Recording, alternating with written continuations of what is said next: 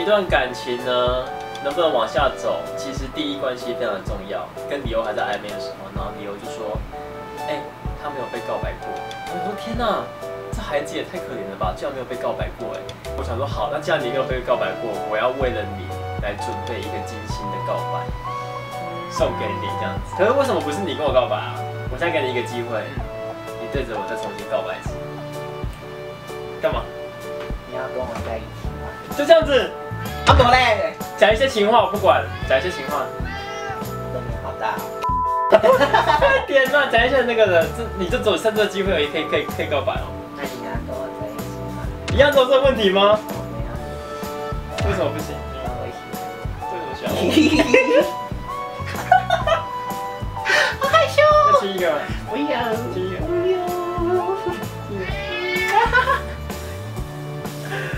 你还记得你当初怎么跟我告白的吗？我们不是总统大选前一天，我们要回南部，蔡英文刚让我结婚哦。我就回到台南之后，我就想说，好吧，那就在总统大选的前一天，那天晚上跟你告白，因为所有的道具啊，跟所有的能力都已经凑足，我所有朋友都可以出来。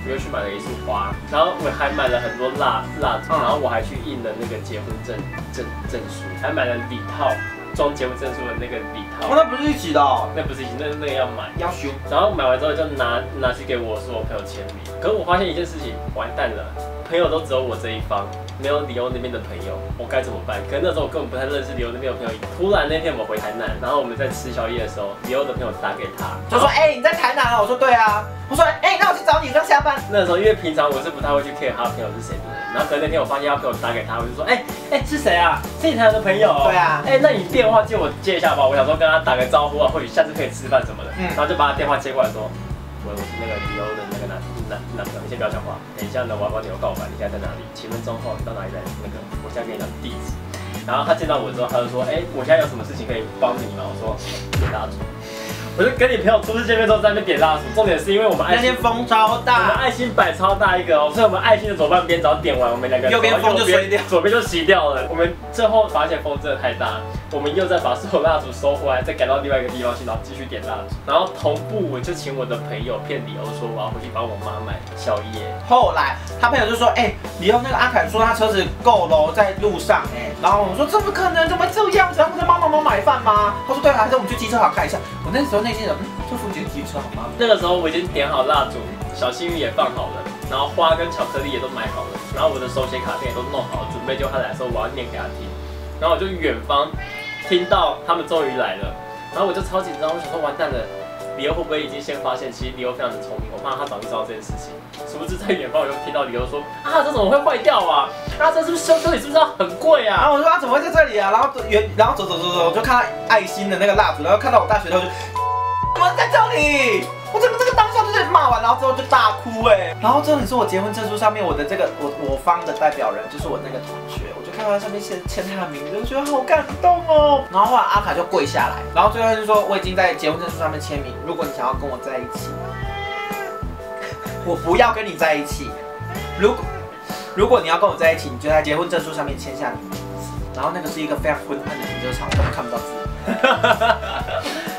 可是我觉得美中不满足的地方就是，你想看影片对不对？没办法，因为他朋友录影片那个人的手机坏掉了，当然你死掉了因。为我觉得美中不满足的是，我希望有一天这个结婚证书是可以实质的生效。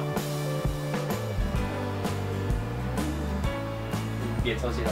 我想要生效。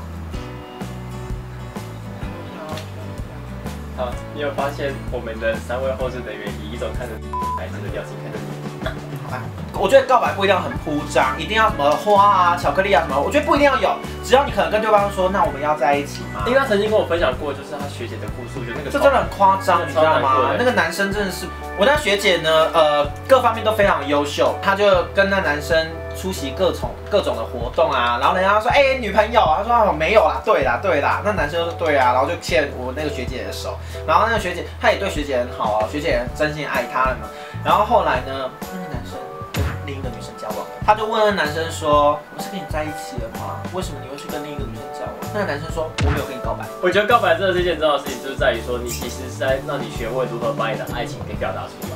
对，如何去表达你的爱这件事，嗯我觉得亚洲人有一个通病，不敢把爱说出口。就是你也不敢打电话给妈妈说妈我爱你，可能只有在母亲节的时候会。但是我觉得我们要学会表达爱，就是你交往十几年，嗯我爱你，嗯妈妈妈妈也说哎妈我爱你，表达爱呀、好不好？不然你爱在心里口难开，谁知道你在爱啊而？且如果有一天你再也没有机会跟对方表达爱的时候，其实已经后不要讲这种话了，这难过啊。如果你们爱上不该爱的人，你可以表达你的情意，你可以表白，但是你要注意你有没有预设后路。假设说我们两个是同班，我们现在高一或大一，我们同班，然后他是异男，我跟他告白，哎、那之后会有四年多尴尬的四年，你知道吗？这可能会造成什么后果？造成我不想去学校上课，造成他不想去学校上课，造成我们两个在学校被议论纷纷啦，巴拉巴拉巴拉巴拉。但是如果这个时候我们两个都高三，或者我们两个都大四了，好吗？就一翻两瞪眼啊，大不了我跟你告白完，好不愿意好，明天毕业大家分手，拜拜。但是如果 那如果很幸运了，耶，我我我成功跟你在一起了，那就变远距离或者是出社会交往，这也很可以啊。嗯，因为交往或是告白真的不是只有你一个人的事情，你知道吗？好，所以呢，就是要跟大家说，告白这件事情其实非常的重要。